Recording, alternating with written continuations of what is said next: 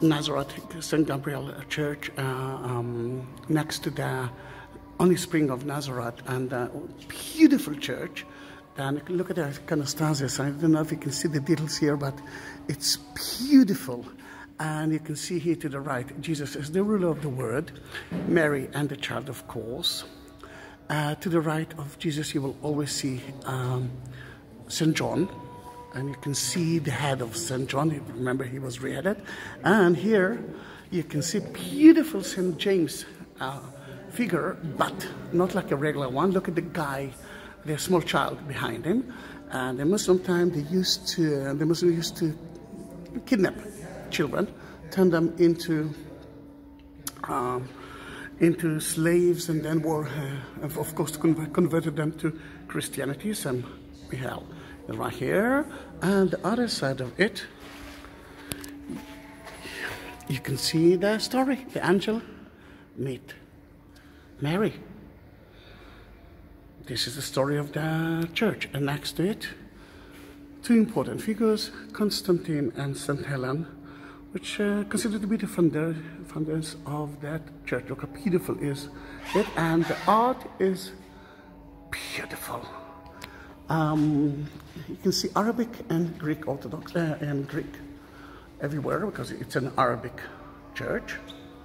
And the most important thing here, and I don't want to disturb him, is the um, spring itself. Then I'll try to go there. Well, again, you can see Mary and the angel.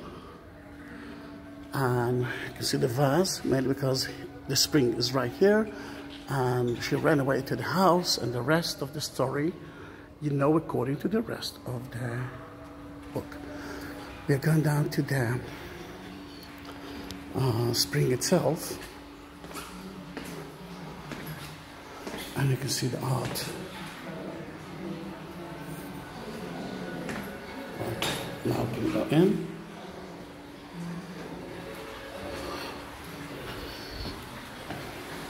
and you can see the water of the only spring in Jerusalem. And in that figure, you can see God Himself in that uh, painting.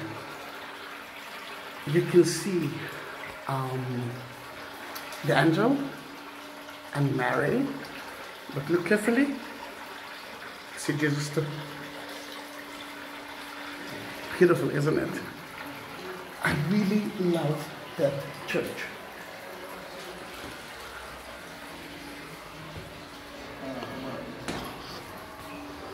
Mm. Unbelievable.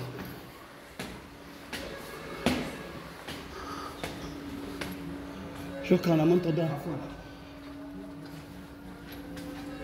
Look at of scenes from uh, Jesus' life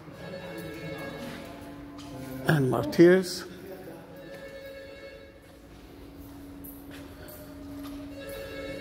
Such an amazing church. It's beginning of June 2020 as well.